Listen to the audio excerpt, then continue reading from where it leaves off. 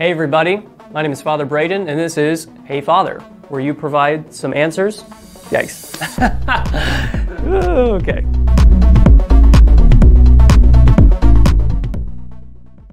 Hey, everybody. My name is Father Braden, and this is Hey Father, where you field questions and we, hopefully, provide you with some good Catholic answers. Let's start off with the saints. Everybody loves the saints. So let's talk about them. A lot of people have a lot of questions about the saints. Uh, why do we have the relationship with the saints that we do? What's the deal with the saints? Why? Um, some people think that we actually pray to saints. Uh, so there are a lot of misconceptions about our relationship, the church's relationship to the saints, that we want to kind of clear up or clarify. Um, so the basic question why even bother with the saints, right? Okay. A simple answer to that would be uh, I guess I would answer that question by posing this question Do you have pictures of your family members around your home? You know, everybody does. We have pictures of our loved ones around our homes, uh, even put it in our workplaces, wherever we go. They, we surround ourselves with the people that we love, that are close to us.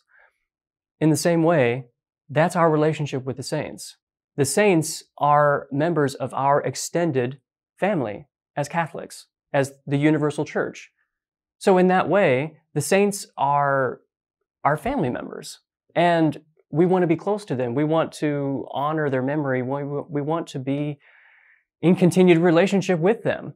And just as much as we, we miss our family members who have died, uh, and we often think of them and, and bring, bring them to mind, well, so too the saints.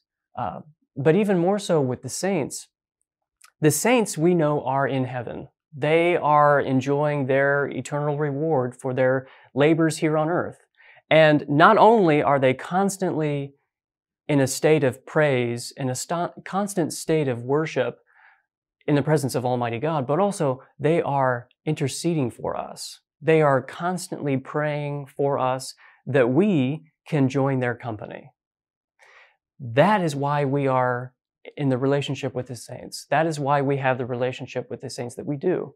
Uh, because they not only provide us examples of extraordinary holiness, they show us that ordinary holiness is also part of our Catholic life, uh, what we profess as Catholics.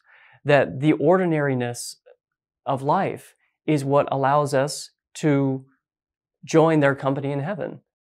Saints provide us with such inspiring examples of holiness, both extraordinary and just very ordinary holiness.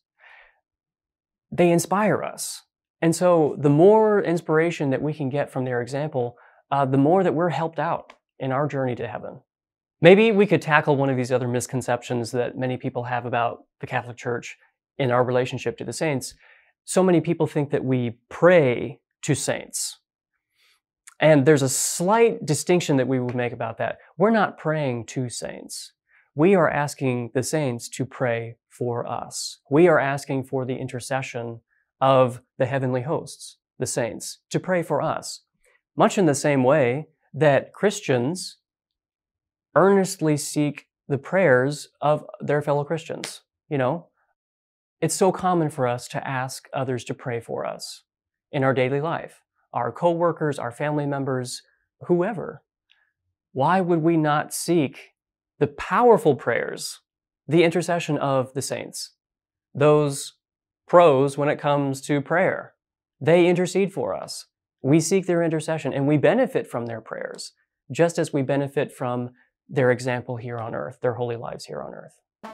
I hope we answered your questions. If you do have additional questions, feel free to comment in the comment section below. This is a series that we'll be doing every Wednesday, so feel free to post your questions, and we'll see you next time. Thank you, and God bless you.